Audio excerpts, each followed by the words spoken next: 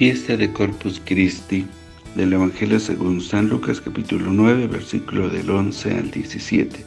En aquel tiempo Jesús habló del reino de Dios a la multitud y curó a los enfermos. Cuando caía la tarde, los doce apóstoles se acercaron a decirle, despide a la gente para que vayan a los pueblos y caseríos a buscar alojamiento y comida, porque aquí estamos en un lugar solitario. Él les contestó, denles ustedes de comer.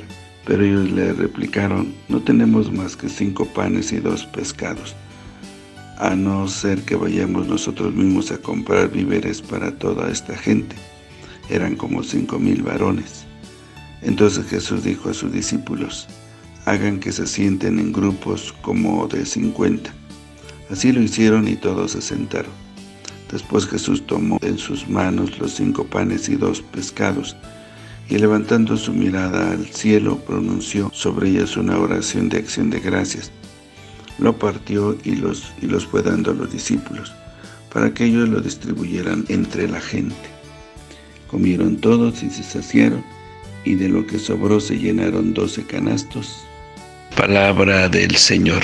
Gloria a ti, Señor Jesús. Hoy celebramos la fiesta del cuerpo y la sangre de Cristo. El sacramento de la Eucaristía es central en la vida cristiana. En el Evangelio los discípulos quieren evadir el problema del hambre de la gente despidiéndola a cada uno que se, las arregle como pueda.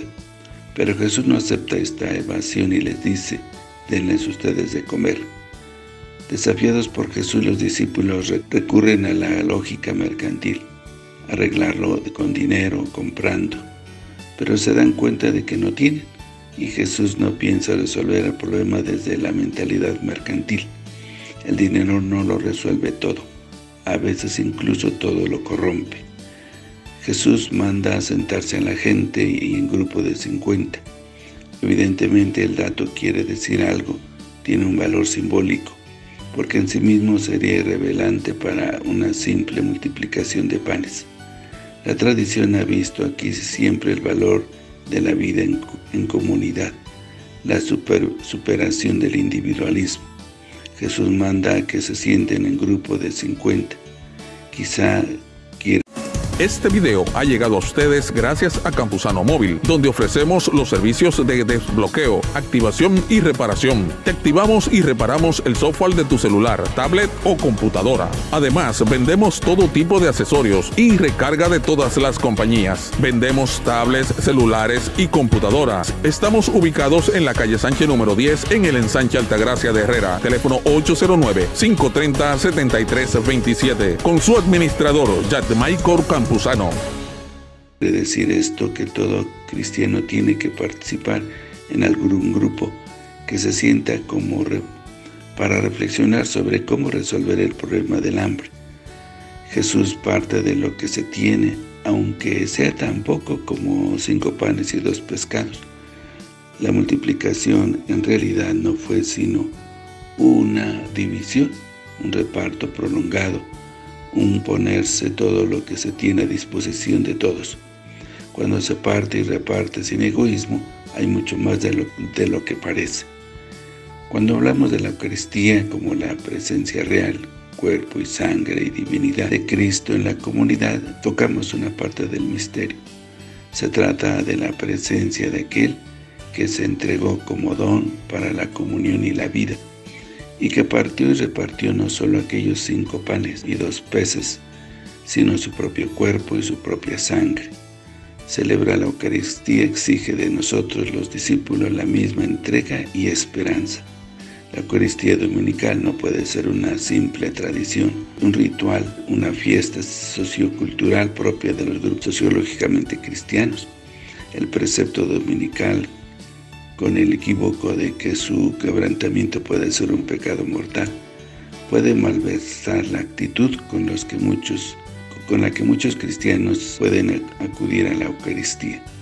Nada más lejos de la intención de Jesús en la última cena que la de fundar un rito de obligación, cumplimiento y asistencia. La Eucaristía es otra cosa, es una fiesta, una acción de gracias exaltante, un renovado compromiso, la repartida rúbrica de una alianza comunitaria y personal. Que el Señor los bendiga.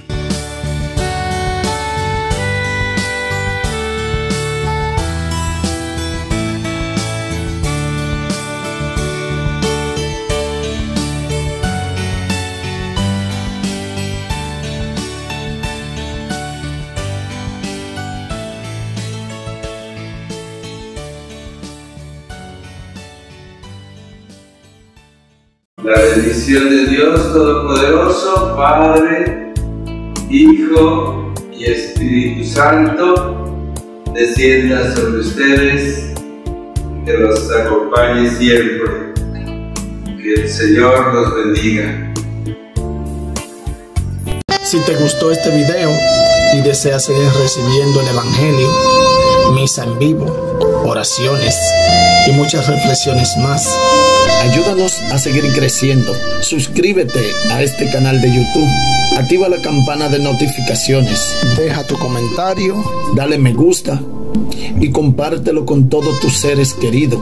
Que el Señor te bendiga a ti y a toda tu familia. Bendiciones.